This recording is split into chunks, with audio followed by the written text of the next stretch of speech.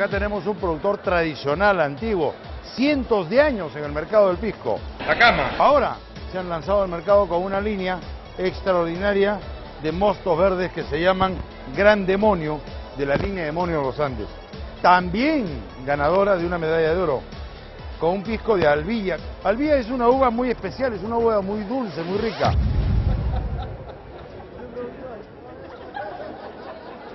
¿Alguien ve pisco ahí no? ¿Alguien ve? Échale nomás, hermano, sin miedo.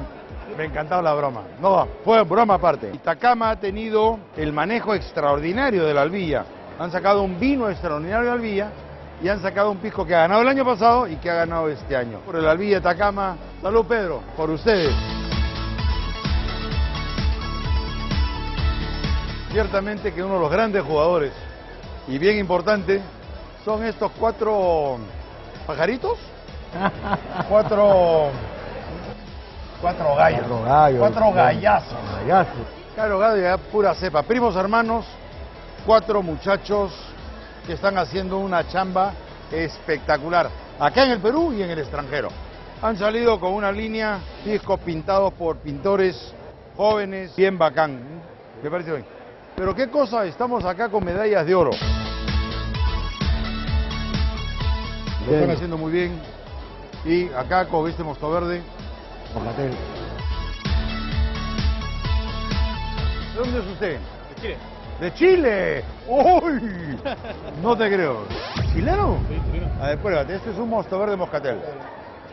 ¿Qué te parece? ¿Está rico o no? Sí. Está bien. Está rico. Encantado. Gracias. Gracias.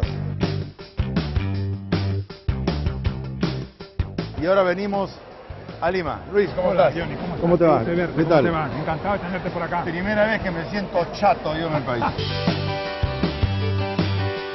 Don Álvaro ha ganado Medalla de oro en Mosto Verde, en Quebranta y en eh, Aromático Torontel. ¿Dónde está don Álvaro? Eh, Nosotros, o sea, compramos uva y la procesamos en Ica, en la bodega de Falconí.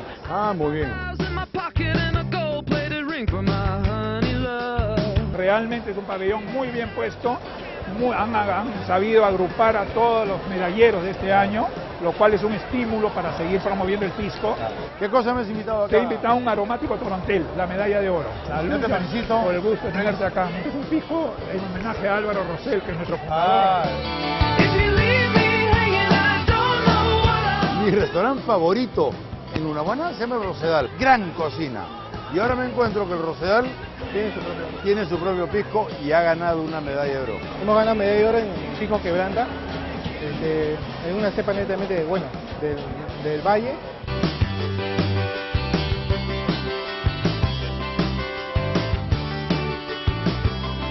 Pisco Don Miguel. Don Miguel es una botella así. Miguel, Un gusto conocerlo. encantado. Tú has ganado una medalla de oro en el concurso nacional. Así es, con el Pisco Mosto Verde, Italia. ¿Hace cuánto tiempo que estás produciendo pisco, Miguel? Mira, exactamente, yo, la bodega tiene ocho años. Ocho años. Comenzamos a producir vinos y hace tres años comenzamos a producir los piscos.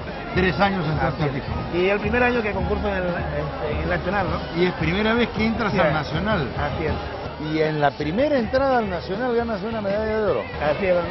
Esta es la medalla de oro Mosto Verde Italia. Mosto Verde Italia.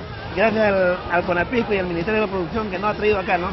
Creo que acá estamos los- las bacán. 20 bodegas que, que han ganado medallas, que han tenido el puntaje más alto y me siento muy feliz de estar acá. Qué democrático. Primera vez que se hace algo bien hecho.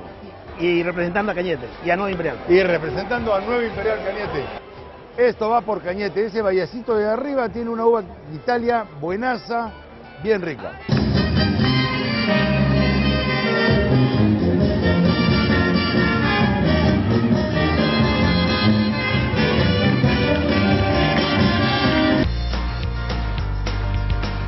No puedo dejar de presentar a un extraordinario amigo mío. Realmente, además envidio la cantidad de medallas que gana. A su madre, concurso que se presenta, va con carretilla recogiendo sus medallas. Grandísimo productor de extraordinarios piscos. Hoy día estamos en Mistura celebrando con una copa vacía, celebrando las medallas que Sarcay de Aspitia ha Este es uno de los que ha ganado. Este es gran medalla de oro el año pasado y medalla de oro este año en Bruselas. Gran medalla de oro Nacional. en Bruselas este año. Pisco, eso es un medallón, ¿ah? Jaime, Salud, salud. Gracias por la visita. felicitaciones por la medalla. Gracias por la visita además. Lindo. No se puede hablar de los grandes piscos en el Perú si no se habla de don Amadeo. Alberto Di Laura tiene unos méritos panamericanos, dispara extraordinariamente bien, pero su alambique dispara mejor. Hola, Johnny. Hola, Albertito, ¿cómo estás? Gracias por esa linda palabra.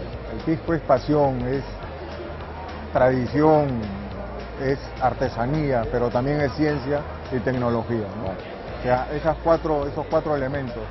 Pero lo apasionado de, de una persona hace que sean las cosas muy grandes. ¿Qué has ganado en este Mosto verde, mosto verde? mosto verde, sí. Con nuestra uva mollar. Pisco Amadeo son las cosas que yo tesoro. Yo colecciono botellas de pisco. y Yo tengo algunas de sus botellas con las etiquetas antiguas. Para mí es un referente importantísimo. Y felicitaciones por tu Muchas pisco. gracias. Gracias. Salud. Salud. Quilmaná Cañete. Salud. 20 piscos. Estamos en el stand número 20. Luis Bien. De Casa de Piedra. Estamos en Lunaguaná, Así es, un valle prodigioso. exacto. ¿Qué han ganado ahora, Lucho? Bueno, este año estamos campeonando con el Quebranta y con el Torontel. ¿Qué hace que tu pisco sea tan bueno? Bueno, el, el productor Juan Aldamirano Háblale a todo le nuestro pone, público. le pone mucho corazón, mucha pasión a este pisco y todos tienen calidad. Todos son de primera, todos han sido medallistas. Este año Torontel y Quebranta son los, los principales. Salud por Lunaguaná, va por ustedes, por todos ustedes. Muchas gracias.